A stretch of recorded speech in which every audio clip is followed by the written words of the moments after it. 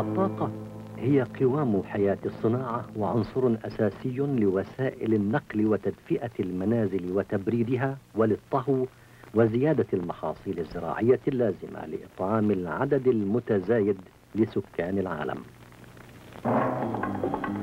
إن معظم مصادر الطاقة على هذا الكوكب محدودة الإمدادات ولكن الحاجة إليها آخذة في الازدياد.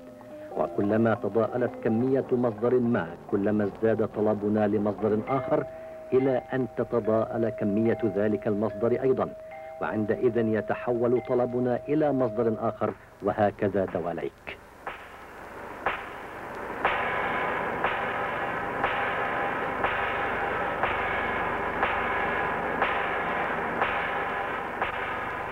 لقد فتح العلم أذهاننا مرة أخرى على شكل جديد من أشكال الطاقة وهو في هذه المرة مصدر لا ينضب.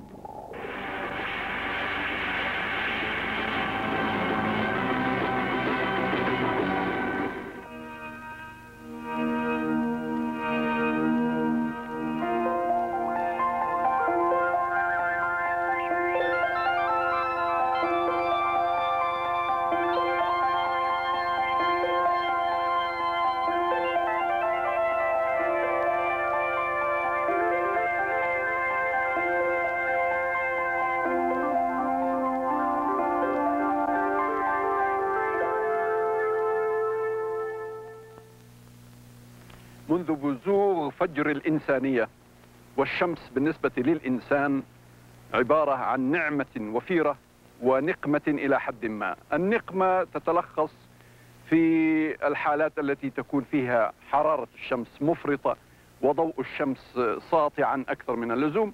عندئذ طبعا هذا يؤذي حياة الإنسان في بعض المناطق. وإذا كانت الشمس في الواقع تستطيع دون مساعدة أخرى أن تحرك محركا صغيرا في أيدي صبية أو أطفال. فلنفتح المجال لخيالنا كي يمضي قدما في تصور ما يمكن أن يستخدمه الإنسان من الطاقة الشمسية التي هي معين له أول ما له آخر. نرجو أن يتمكن الإنسان من تسخير هذه الطاقة الشمسية بصورة يعني نسبيا رخيصة ولكن تكون إن شاء الله بصورة دائمة كي نعمل الخير المتوجب علينا للأجيال القادمة إن شاء الله.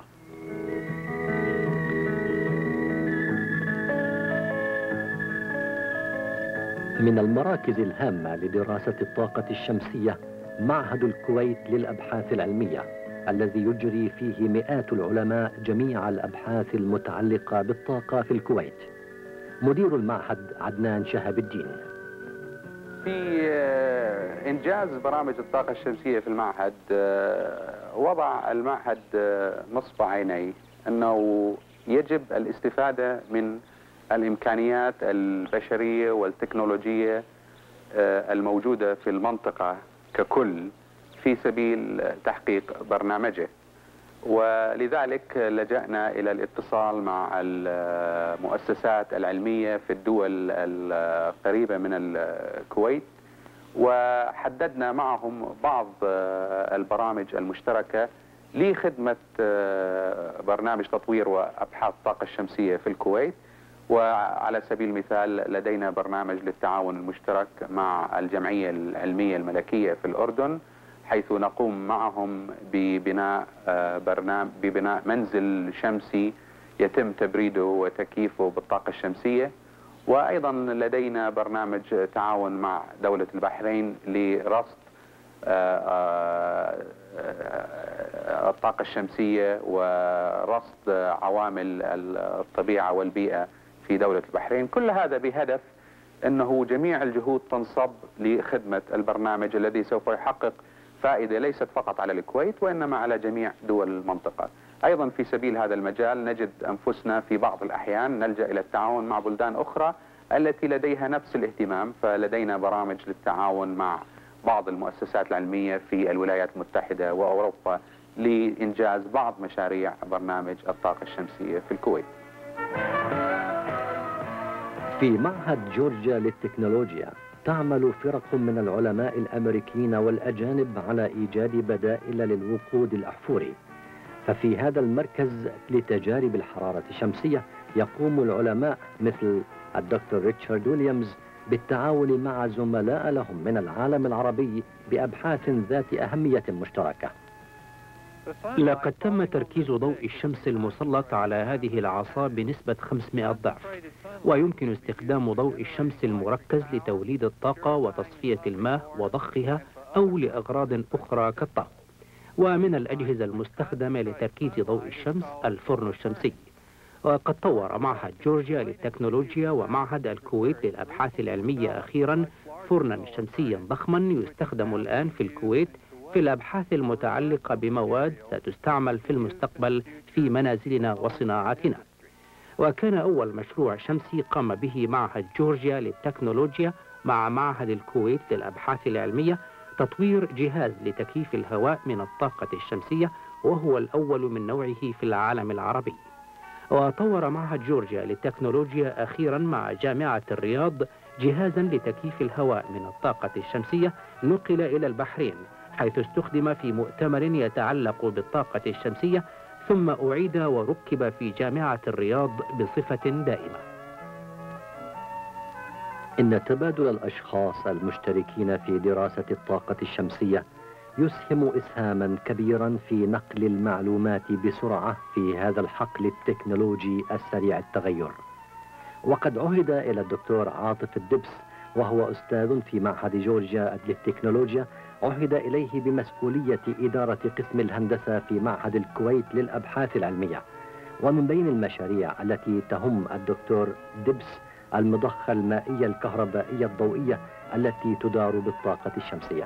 الذي تشاهدونه هي خلايا شمسية تولد الطاقة الكهربائية بطريقة آه، تولد الطاقة الكهربائية آه، عن طريق الشمس. الأشعة الشمسية تحول مباشرة إلى طاقة كهربائية. والطاقة الكهربائية في دورها تشغل مضخة والمضخة هذه تضخ المياه. في المناطق الصحراوية هذه شغلة مهمة جدا وضخ المياه وكذلك قضية تحلية المياه بطريقة التناضح العكسي آه، الذي يحتاج إلى طاقة كهربائية. حتى عهد قريب كانت أجهزة ضخ المياه باستخدام الطاقة الشمسية ضخمة وباهظة التكاليف.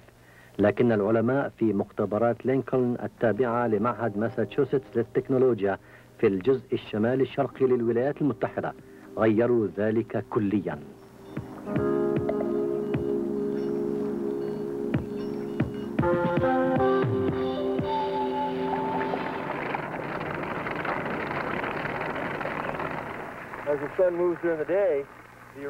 فقد طور رونالد ماتلين في بوسطن بولاية ماساتشوستس جهازا صغيرا للري يمكن استخدامه بفعالية في حوالي 50 مليون مزرعة صغيرة في سائر أنحاء العالم. ويمكن إنزال هذه المضخة البسيطة في أي مجرى مائي أو بركة أو بئر ضحلة في يوم مشمس وخلال دقيقتين تولد الخلايا الكهربائية الضوئية ما يكفي من الطاقة للبدء في ضخ الماء.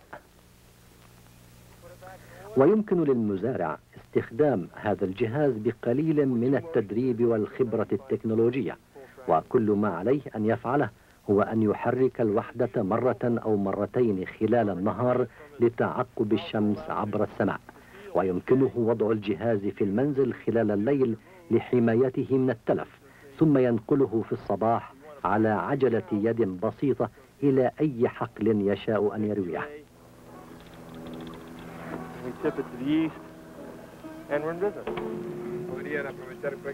وعلى نطاق أوسع تستخدم مئة ألف خلية كهربائية ضوئية لتشغيل جهاز للري في ميد بولاية نبراسكا في أواسط الولايات المتحدة.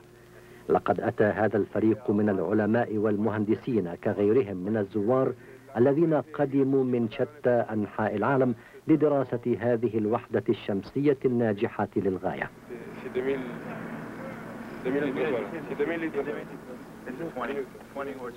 وتولد ألواح الخلايا الضخمة الكهرباء اللازمة لضخ ألف جالون من الماء في الدقيقة. ويمكن ضخ الماء إلى بركة للتخزين أو إلى حقول الذرة مباشرة.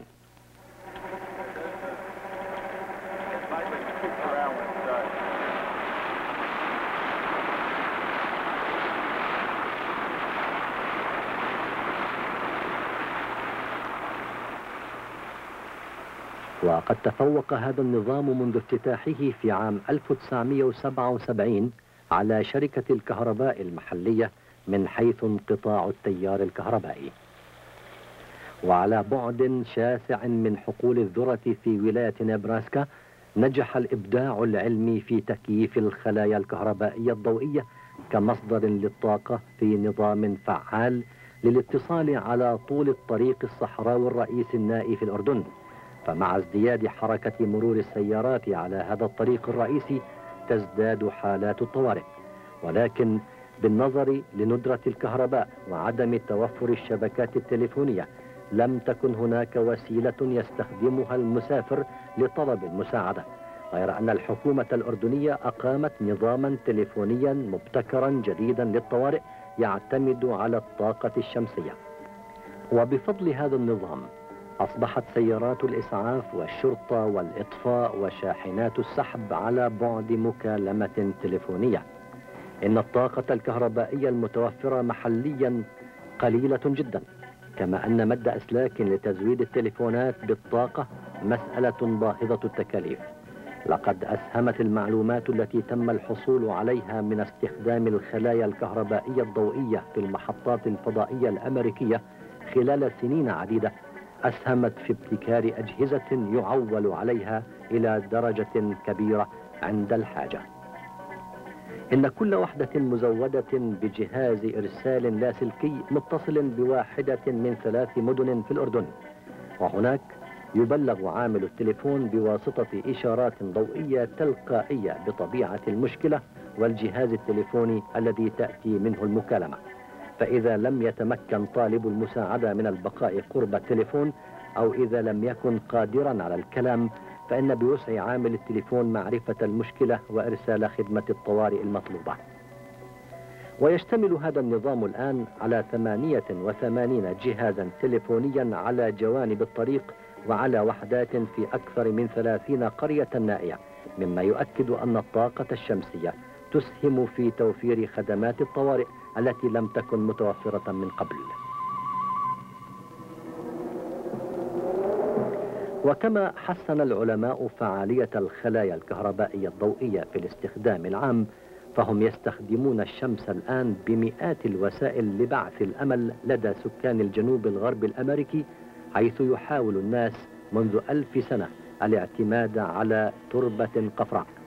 لقد استخدم رعاة البقر هذه الأرض لرعي مواشيهم وجاء بعدهم المزارعون أملا في تسخير الرياح لسحب الماء من جوف الأرض. وحفرت آبار عميقة لنقل الماء إلى السطح ولكن ذلك احتاج إلى طاقة بالغة التكاليف كالبنزين أو الغاز الطبيعي. غير أن ذلك يتم الآن باستخدام أهم موارد المنطقة ألا وهو الشمس.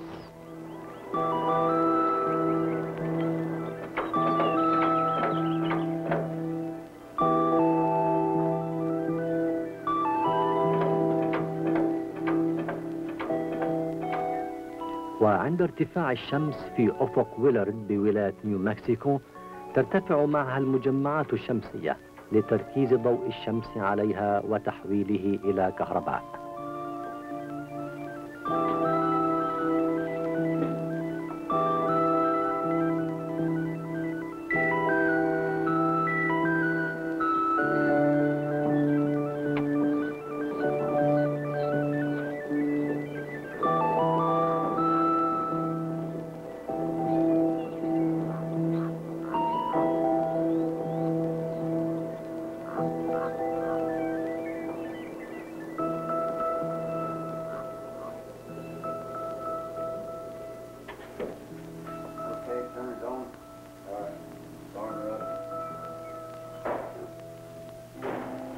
لقد بدأ أول مشروع ضخم للري باستخدام الطاقة الشمسية في ضخ الماء في عام 1977 حيث تحول العاكسات المنحنية ضوء الشمس إلى حرارة تحول بدورها سائل الفريون إلى غاز.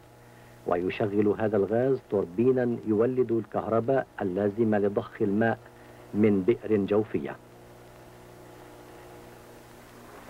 ويخزن الماء في بركة ويستخدم لري مئة فدان من المحاصيل. إن التكنولوجيا الشمسية ملائمة بصورة فريدة للزراعة لأن المحاصيل تحتاج إلى أكبر قدر من الماء حين تكون الشمس في أوج سخونتها وهي النقطة التي تعمل فيها الأجهزة الشمسية بأقصى طاقتها. وفي الأيام المشرقة ينتج الجهاز من الطاقة أكثر مما تدعو الحاجة إليه ويتم خزن الفائض منها لضخ الماء في الأيام الغائمة. إن الري بواسطة الطاقة الشمسية يحد من جفاف المناخ مع أن هذه الأجهزة تستهلك 70% من الطاقة المستخدمة في الزراعة في هذا الجزء من البلاد. ورغم ذلك فإن الطاقة الشمسية توفر حلا عمليا للحاجة إلى مراع دائمة وحقول زراعية منتجة. ونتيجة لذلك هناك اهتمام كبير بتطبيق هذه العملية الأمريكية في المناطق الصحراوية بالشرق الأوسط حيث يتوفر الماء في جوف الأرض ويداعب الناس حلم قديم وهو تسخير الشمس لخدمة البشر.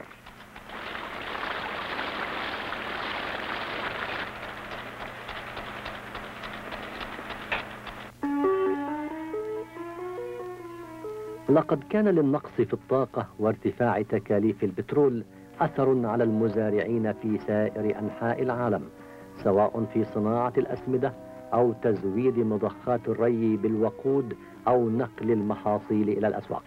وقد تعرضت بعض المحاصيل للجفاف حين تركت في الحقول تحت أشعة الشمس لكن ذلك يؤدي إلى خسائر كبيرة نتيجة تعرضها للتلف ولآثار الحشرات والحيوانات القارضة وعند جمع الطاقة الشمسية تستخدم الحرارة الشمسية لتجفيف المحاصيل داخل المباني حيث لا تتعرض للتلف وتخزن الحرارة عادة في صهريج مملوء بسائل أو في صندوق مملوء بصخور.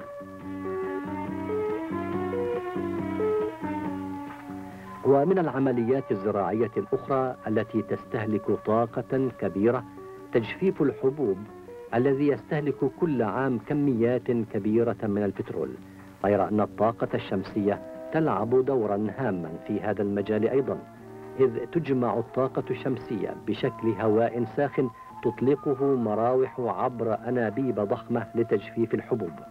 وفي المناطق الشرقية والوسطى للولايات المتحدة حيث يمكن أن تلحق الأمطار والرطوبة أضرارا بالمحاصيل يضمن استخدام التجفيف الشمسي في صناديق خاصة وصول جزء أكبر من المحصول إلى الأسواق.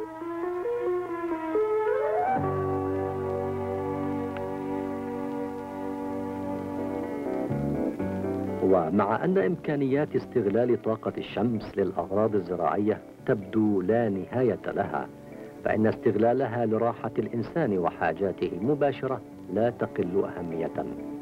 في هذا المركز الأردني في العقبة يتم تطوير وسائل جديدة للحصول على الماء العذب من الماء المالح.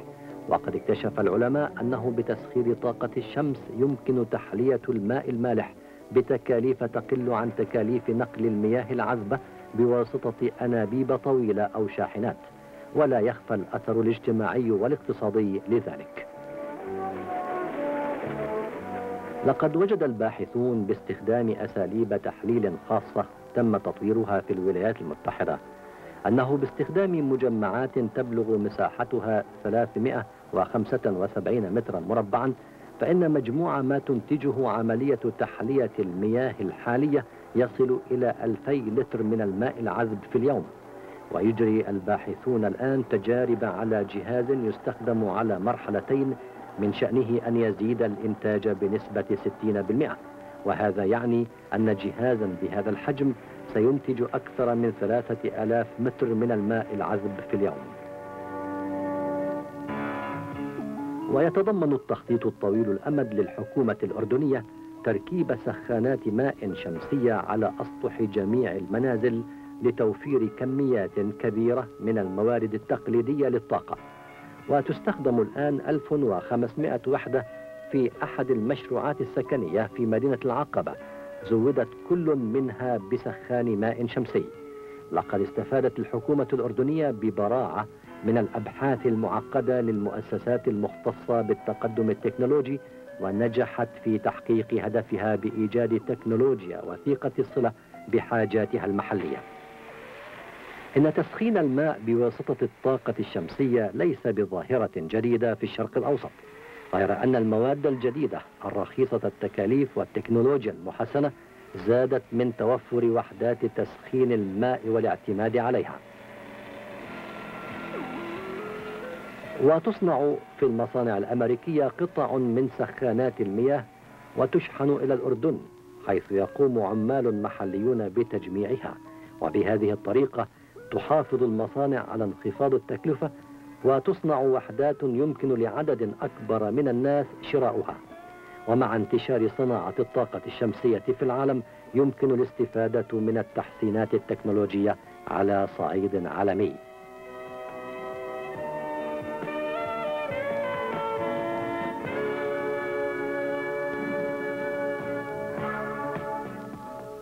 وتستعمل في شرق الولايات المتحدة ألواح متحركة مشابهة في منزل تجريبي تستخدم فيه الطاقة الشمسية وتحفظ فيه الطاقة باستخدام تكنولوجيا متقدمة. وهناك عوامل أخرى تحجب الشمس عن المنزل في الصيف وتحفظ الحرارة في الشتاء.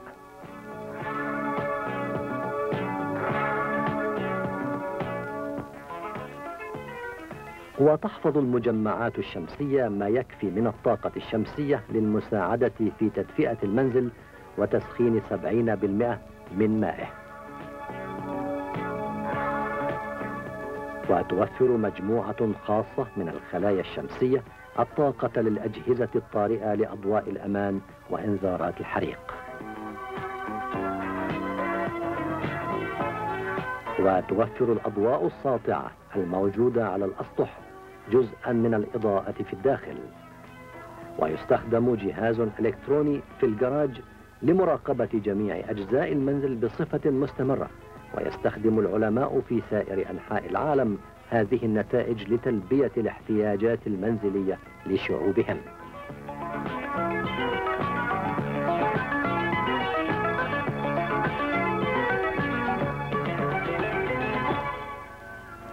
ومن أكبر المباني المزودة بالطاقة الشمسية في العالم مركز ضخم للاستجمام في بلدة شنندوا الجديدة بولاية جورجيا في جنوب شرقي الولايات المتحدة. لقد أحيطت ثلاثة جوانب للمبنى بطبقة من التراب لعزل البناء والتوفير في استهلاك الطاقة. وتوجد على سطح المبنى ألواح شمسية تبلغ مساحتها ألف متر مربع.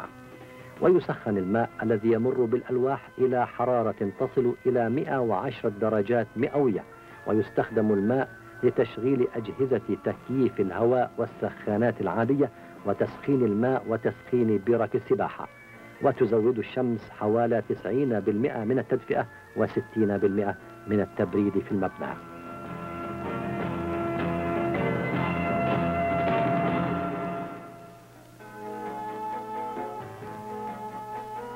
إن الصناعة من أكبر مصادر استهلاك الوقود الأحفوري في العالم. وإذا أمكن استخدام الطاقة الشمسية في الصناعة فإن من الممكن توفير كميات ضخمة من البترول.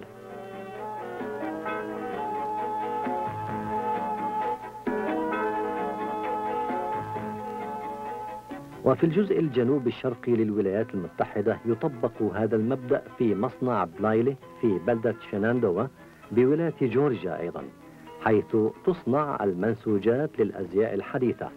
وقد يكون لنجاح هذه التجربة مدلولات هامة للصناعة خاصة في الدول التي تنعم بوفرة ضوء الشمس. الدكتور ويليامز الأستاذ في معهد جورجيا للتكنولوجيا يتحدث عن أهمية هذا المشروع التجريبي. سيمتلئ هذا الحقل قريبا ب 120 من أطباق المجمعات الشمسية المكثفة الضخمة التي يبلغ قطر كل منها أربعة أمتار. إن هذا نموذج عملي صغير وسوف يبلغ الحجم الطبيعي للأطباق أربعة أضعاف طول. وسيركز الطبق الأشعة الشمسية التي تسخن سائلا يتدفق عبر جهاز الاستقبال إلى 400 درجة مئوية. ويستخدم السائل الساخن لتوليد الكهرباء وتستخدم الحرارة الإضافية لتكييف الهواء والتدفئة وتسخين الماء. وسوف تغطي المجمعات الشمسية منطقة تبلغ مساحتها هكتارين كما ستزود قرابة 90% من احتياجات المصنع السنوية من الطاقة. وفي صحراء جنوب غرب الولايات المتحدة يستخدم مشروع شمسي من نوع مختلف الطاقة الشمسية لتوليد الكهرباء. وتتعقب الشمس أكثر من 300 مرآة مسطحة وتركز ضوءا مساويا لألف شمس على قمة برج مولدة حرارة تصل إلى 260 درجة مئوية. ويمكن إجراء تجارب على متانة المواد المختلفة وتطبيقها في تكنولوجيا المستقبل. ويتم إنشاء محطة مشابهة لتوليد الطاقة الكهربائية في ولاية كاليفورنيا على الساحل الغرب الأمريكي لتكوين البخار الذي يشغل توربينا كهربائيا. لقد طورت شركة أمريكية هذا الجهاز بحيث يمكن استخدامه في أي مكان في العالم ينعم بوفرة من ضوء الشمس.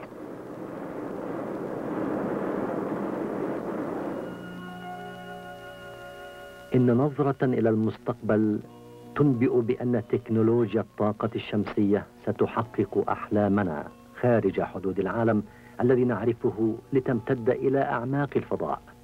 ويبحث العلماء وسائل إرسال الطاقة من الفضاء لكي يروا ما إذا كان ذلك ممكنا بصورة فعالة ومأمونة. إذ يمكن أن يصل ضوء الشمس 24 ساعة في اليوم إلى مجموعة كبيرة من الخلايا الشمسية يصل حجمها إلى حجم مدينة كبيرة بسبب بعدها عن ظل الأرض ومؤثراتها المناخية. ويمكن تحويل الطاقة المولدة إلى موجات صغيرة جدا وإرسالها إلى محطات استقبال على الأرض. وهناك تحول الموجات الصغيرة إلى كهرباء لسد احتياجات الطاقة في المدن القريبة.